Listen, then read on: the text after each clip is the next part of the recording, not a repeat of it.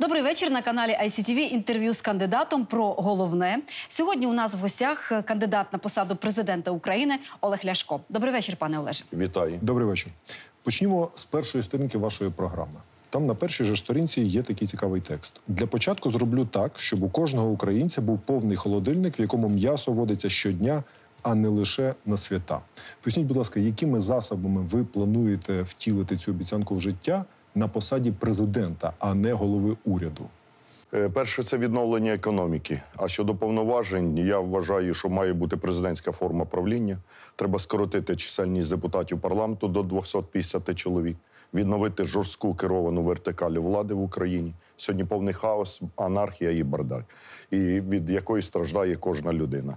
І тому наведення порядку, відповідальність за економіку це пряма відповідальність президента. Тому що коли нинішній розказує, що він не відповідає за економіку, за мізерні пенсії, за мізерні зарплати, а тільки за дипломатію і за оборону, у мене питання: а де гроші взяти на дипломатію і на оборону для того, щоб вони були успішні? А як регулювати взагалі ціни на все і на м'ясо, і на всі інші продукти? Дуже просто.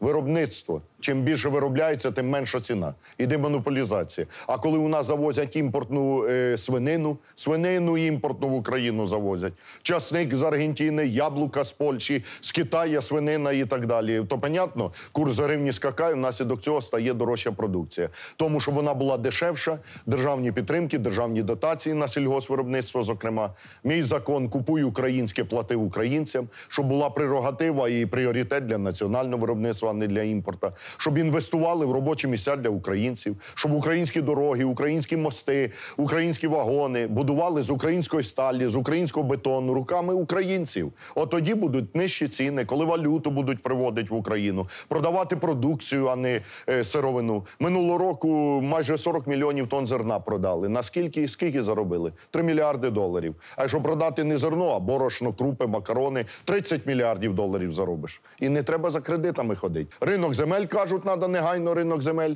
і дешеву робочу силу, яка піднімає економіки Польщі і сусідніх країн. Пане Олеже, давайте про українську землю. Давайте. Ви сьогодні згадували про Європу. Ну в Європі вся земля в приватній власності. Не вся, ну не вся. майже вся. Не вся. Ну майже вся її можна продати. І взагалі історія доводить, що найкращий власник землі це приватна власність, щоб її міг продати. У вас в програмі написано не продаж сільськогосподарських земель, а захист селян.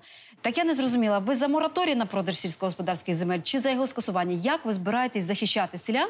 Чия земля під мораторієм? Перше, щодо Європи, подивіться в Німеччині чи Франції, попробуйте купити землю. Вона там дуже дорога. Ні, ні, не тільки дуже дорога, там максимальна кількість обмежень. Наприклад, щоб ви у Франції могли купити землю, да, ви повинні жити в тому селі. Про який ринок земель сьогодні в Україні можна говорити при продажній судовій системі. Власник паю спить, уночі чорний ріелтор переписав його землю. Вранці вже кажуть, це не твоя земля, не твій тік, не твоє зерно. Про який ринок земель можна говорити, коли в людей нема грошей? Хто купить ту землю? Сьогодні занижена ціна землі. Е, Скільки пропонують сьогодні людини за пай? Півтори-дві тисячі доларів. Да реальна ціна української землі мінімум 30 тисяч доларів за пай. Занизили спеціальну вартість, щоб людей задарма забрати землю. Ну але ж це ж це можна виправити Все це можна виправити за однієї умови, коли визначите, що основою аграрного устрою України є фермерське господарство. Я ініціював зміни до конституції, і парламент почав їх розгляд. За прикладом Польщі у Польщі 300 тисяч фермерських господарств щороку виробляють продукції більше ніж на 30 мільярдів євро,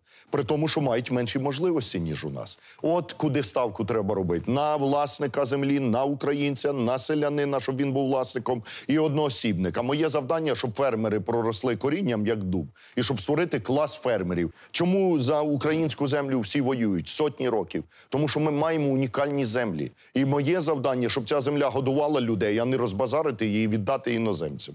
І це ви будете робити, якщо зосередите всю державну владу в родних руках, в Да. руках президента. Да. Ви пропонуєте це в своїй програмі. Ну погодьтесь, це не дуже демократична історія. В принципі, в Сполучених Штатах є сильний президент, є потужний конгрес. В Європі це в основному парламентська історія. Чи не боїтеся ви узурпації влади? Чи не боїтеся, що вас не підтримає український народ? І чи впораєтеся ви з цим усім виконавчим тягарем одноосібно? Перше, я абсолютно впевнений, що люди мене підтримають, тому що люди хочуть порядку і дисципліни, а не то хаосу і бардаку, в якому сьогодні живе країна. Перше, друге, я категорично проти узурпації. Я за сильну президентську владу, але мені не треба майдани, щоб люди виносили узурпатора. Узурпатора. Узурпатор в Україні не пройде. Треба бути ну нереальною, нереалістичною людиною, щоб думати, що можна в Україні стати узурпатором. Україна не Росія, як писав Леонід Данилович Кучма, і правильно писав 20 років тому. Тому для я пропоную сильну президентську вертикаль, але е, контрольні сильні повноваження парламенту. Я на відміну від оцих імпотентів, які сьогодні при владі, я готовий брати повну відповідальність за стан справ в країні і нести за це відповідальність. У нас є шанс. 31 березня вичиститься болото, розігнати цю банду мародерів, а не вестися на продажні соціологічні опитування, де там пишуть той президент, той президент, а Ляшку взагалі нічого не дають. кажуть, лузер взагалі я якийсь. Слухайте, мені в 2014 році за 10 днів до виборів всі ці поважні соціологічні контори писали 8 місце і 3% рейтинг. Через 10 днів я взяв третє місце. На цих виборах візьму перше. Я знаю, що люди хочуть. Люди хочуть порядку, люди хочуть дисципліни, люди хочуть повний холодильник, щоб нормально жити, працювати і заробляти. Саме цю політику я й пропоную. Одне уточнення: Е, якщо провести в жовтні паралельно з парламентськими виборами референдум, треба закон про референдум спочатку ухвалити. Встигне парламент? Да, а куди вони дінуться? Слухайте, в мене залізна хватка. Подивіться, он коли Гройсмана взяв за м'яке подбрюш'я, коли людям зарплати не платять. Зразу дав команду платити зарплату. Кожен чиновник від президента до судді, до депутата, до міністра повинен як вогня боятися людей, коли він знатиме, що прийдуть і винесуть на вилах. Тема війни для нас звичайно ж актуальна, і хочеться почути вашу думку. Ви в програмі написали про те, що готові зробити все для встановлення миру, але не ціною капітуляції. На вашу думку, що ще Україна може зробити для встановлення миру на сході, такого, чого ми ще не зробили? Єдина можливість відновити мир, повернути території, перемогти в цій війні, бути сильними, сильними. Де наша сила? Відновлення економіки. Нам треба гроші на армію, на дипломатію, на оборону. Нам треба припинити ходити позичатися. Це принизливо, коли президент України летить на другий світ, е, кінець світу за океан, Сполучені Штати, щоб взяти участь у церемонії передачі двох БУ катерів 40-літньої давності. А Херсон, Миколаїв, Одеса, колишні міста, корабели. Он треба робити, щоб вернути їм колишню славу і будувати саме, де сильні світу цього зводять між собою стосунки, а платимо за це ми, українці. Так от і моє завдання зробити Україну сильною. Ми є об'єктом геополітики. Нам завозять зброю, а з України вивозять сировину, робочу силу, металолом, дерево. Нам дають принизливі кредити, які ми самі можемо заробити, перекривши контрабанду, перекривши корупцію, відновивши виробництво. А нам за мільярд доларів руки викручують і майбутнє забирають. Чого влада не покаже пакту про зовнішнє управління Україною у вигляді меморандуму з МВФ? Я пропоную зовсім інший план: пришвидшений радикальний розвиток економіки для того, щоб влити гроші і у відновлення економіки в сильну армію, годувати свою армію, щоб була успішна дипломатія. Чому американська дипломатія успішна? Тому що за її спиною стоїть найпотужніша армія. Я, до речі, готовий вести переговори з ким завгодно, в тому числі з Путіним. От Порошенко розказує, з Путіним не можна вести переговори і не веде переговори. Каже, великий дипломат, а півтора роки з Путіним переговори не веде. А з ким мені вести переговори? Я готовий з Путіним, з Трампом, з ким завгодно вести переговори заради того, щоб повернути території, повернути мир. Тому єдина можливість зупинити силу це бути самим сильними. Проти лома нема прийома, крім другого лома. Я відновлюю програми, е, ракетні програми. Про ракетні програми для того, щоб ми прикрили своє небо, для того, щоб ми були сильними, і для того, щоб ніхто навіть думки не мав прийти на нашу землю. Треба мати потужну зброю, а не ходить би у катери просить в Америці. Нам не треба нічого просити. У нас унікальне ВПК, у нас унікальні наукові розробки, у нас є відповідні технології. Ми можемо все самі зробити. Які у нас можливості повернути Крим? Які ви розглядаєте можливості? Е, Такі самі, як в Японії. Боротися. Як Японія бореться? От мене питають, як я верну Крим. А як Японія бореться за Курили? Ніхто їм не каже, що е, пройшло 70 років після війни, як у вас забрали Курили, опустіть руки, припиніть боротися і відмовтесь від Курил. Якщо там хтось це скаже, да, е, він е, ніколи нічого не матиме. Е, Я пропоную те саме боротися. Боротися ні одного метра своєї території не віддамо. Пам'ятаєте, як в тому фільмі е, Кимську волость хтось там хотів роздавати? Ти її що, сволоч, брав, щоб роздавати? От так само і я. Крим Хрущ... вернув Хрущов, відновив історичну справедливість. Путін зробив величезну стратегічну помилку. Я взагалі вважаю, що Путін найбільший. Може, це мені і важче буде з ним переговори вести після того, коли я скажу, але я все-таки скажу. Я вважаю, що Путін, е, Путін е, найбільший лузер в житті, якого я бачив. Знаєте чому? Він зробив те, чого Гітлер не зробив. Путін посварив українські і російські народи. Ви пишете у своїй програмі про те, що якщо Будапештський меморандум не виконується, то Україна має повне право заявити про відновлення ядерної програми. Да. З вуст кандидата у президенти і потенційного президента це дуже радикальна заява. Ви не боїтеся, що це зіпсує наші стосунки з нашими партнерами? Відновлення ядерної зброї в Україні.